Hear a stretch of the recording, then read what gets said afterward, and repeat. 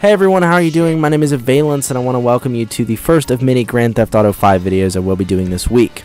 Now, due to Grand Theft Auto being a big release and me wanting to cover a lot of content for it, as well as writing a review for it, I will be doing Grand Theft Auto this entire week. Republic at War will not be airing this week, it'll come back next week, and my other shows will remain on schedule, so don't worry about that. But Republic at War Let's Plays are on hold for the addiction in my life that is now Grand Theft Auto. So there's that note. Now moving on, uh, today we're actually going to talk about the shooting range. This is a very cool thing. I didn't think I'd enjoy that much, but it's quite awesome. So in Grand Theft Auto, you're going to be able to increase different skills, right? Um, your physicality, your stealth, um, your shooting, etc., etc., etc. Now you are going to have three main characters. Today we're playing as Michael. This is Michael, uh, and basically I spent a couple hours tonight just bumping up his shooting. Um, and it's it's literally that simple. So you're going to go to these shooting ranges. You're going to compete uh, in various challenges. Uh, so far as I know, there's no competitors or like people you're going up against yet. I've only played the basic shooting challenges, but there's different classes such as handgun, submachine gun, assault rifle, uh, heavy machine gun, and then there's also like the heavy heavy, which is a minigun. I think that's awesome to have at a shooting range. It's quite fun. Uh, you won't see it in this video. You're going to see some handguns, some shotguns, um, some submachine guns, and also some assault rifles. But basically, you're hitting targets, and there's these different challenges. There's with moving targets, static targets, and the more you hit without missing, the higher your combo goes, and it actually tracks your hit markers and everything too. This is a great way to practice getting used to GTA 5's shooting mechanics, uh, which are different than most games, I must admit. Having B for a reload button kept driving me nuts, but hey, that's just me. I know some other people feel differently. So, this is how you're going to level up your character skills. For example, Franklin, he may be a great driver because he's a carjacker. Um, however, he is not the best shot. And Michael will actually say, "Hey, man, I appreciate the help back there in you know one of the main uh, kind of quests in there, and uh, or in the game rather." And you know he'll be like, "You should go practice your shot." And you bring Franklin to the shooting range, and you spend a couple hours and um, hours with him, just shooting targets, and you realize that your reactivity is going to bump up, how easy it is to move your cursor is going to bump up, and also your accuracy. This is really cool. I mean, I like the idea of having this. Uh, the weapon customization is also through the roof. You can buy scopes attachments such as silencers.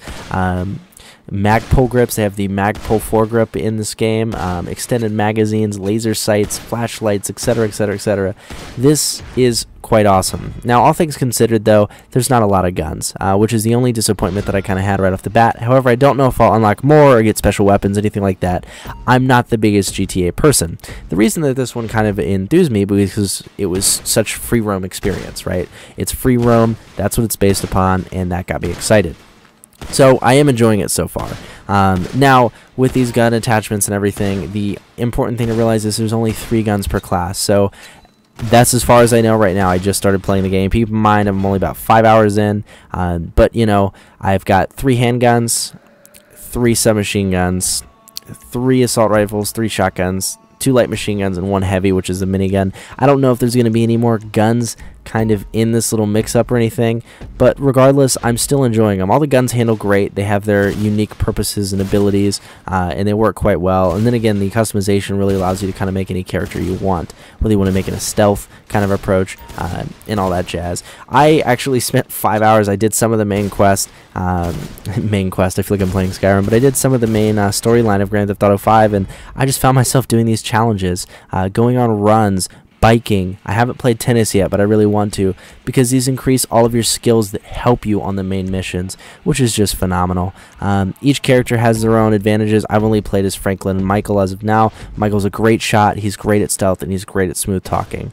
Uh, however, Franklin is an excellent driver. He actually has an ability that lets him kind of fall back. Um, so I'm trying to get Franklin shooting up. I didn't get footage of that, but I did start doing that while watching just a little bit of Netflix um, this evening. So that's kind of the gist of it. Um, but shooting, guys, it's great. If you guys want to see anything in particular, uh, I've gotten gold medals on all the assault rifle and submachine gun ones. I believe around, I think the only one I haven't got a gold on is the uh, carbine or the assault rifle um, challenge 3 it's it's great. I mean, you can definitely tell which guns you're strong with and trains with the ones that you aren't. So give it a shot. I mean, this, this shooting range is just phenomenal, and I think it's a pretty cool little addition uh, and something I wanted to do my first GTA video on.